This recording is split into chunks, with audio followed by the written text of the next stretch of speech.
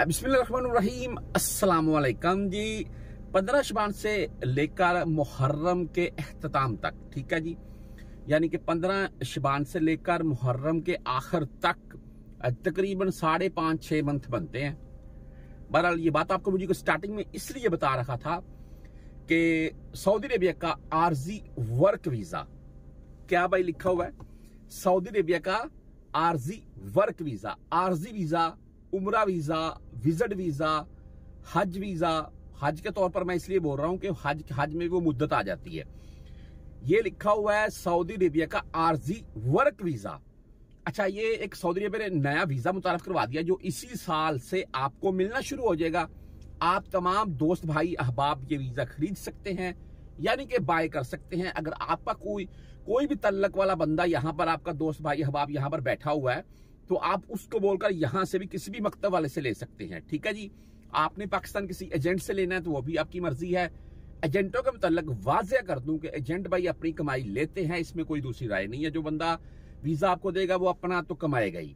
अच्छा इस वीजे में है क्या? बेसिकली वो चीज़ आपको बताऊँगा। कुछ भाई, मैं ये इसके मुतल सुन रहा था कि बोल रहे हैं जी कि इस वीजे के तौर पर आप काम नहीं कर सकेंगे या ये वीज़ा आप यानी कि मिसाल के तौर पर दो ढाई लाख अगर आपको मिल रहा है तो आप मत लें या एक दो लाख, किसी भी, यानी कि एक लाख के राउंड में दो लाख के वो पैसों की तो बात नहीं है, लेकिन अगर आपको ये पेमेंट के एवज मिल रहा है तो मत खरीदें।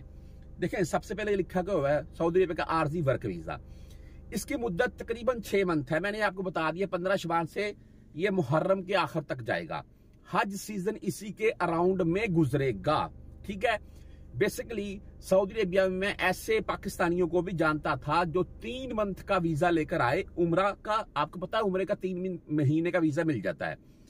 और वो मक्का में ही मुकीम, बकायदा अपनी रहायश रखी हुई है। साथ में एक दुकान वाले से बात की हुई है। यार, उनका वो अज़ीज़ है, कोई भी है दुकान वाला एसी फ्रिज का काम था उसका। वो दोनों लड़के उसके साथ काम पर लगे हुए हैं और कमाई कर रहे हैं अपनी। ठीक है, साथ में तीन महीने का जो उम्र का वीज़ा है, वो उम्र भी करेंगे, मक्का में रहकर उसके साथ दुकान पर काम भी कर रहे हैं। हाँ मैं मानता हूँ, ये इलीगल के जुमरे में आता है। लेकिन अगर आप किसी की दुकान के अंदर काम कर रहे हैं तो फिर कोई मुश्किल नहीं है। अच्छा नंबर दो ये ये जो वीज़ा है, इसके मतलब आपको बता दूँ मैं, ये छह महीने की इसकी मुद्दत होगी। आप अगर किसी एजेंट से, या यहाँ से अगर आप किसी को भेजते हैं पाकिस्तान तो भाई इसमें यह है कि आप ये छह महीने का वीज़ा आपने, आरजी वर्क वीज़ा ले लिया, वो भाई यहाँ पर आ गया। आपने वो वीज़ा जब लेना है, आपको वो वीज़ा किसी फर्दी मुसस्से के नाम से, किसी कंपनी यानी कि शिरके के नाम से जारी होगा।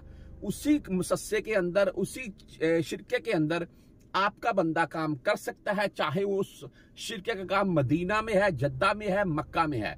कोई टेंशन नहीं है, उस शिरके के अंदर आपका बंदा काम करे, और जो वो शिरका या मुसस्सा वीज़ा देगा, साथ में उनके पास काम भी होगा।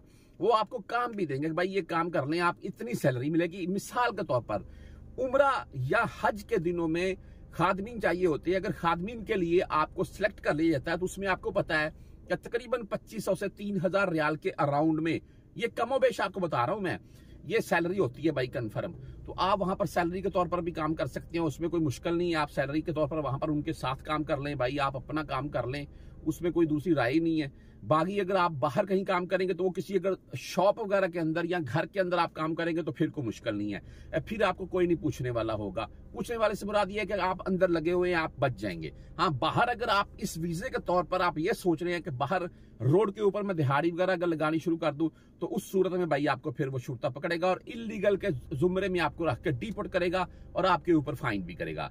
तो बेहतर ये है, अगर आप ये वीज़ा लेना चाहते हैं, साथ में आप बोलते हैं कि मैं उम्र कर लू, हज तो नहीं होगा इसमें, और कमाई भी हो जाए तो बेस्ट है जी।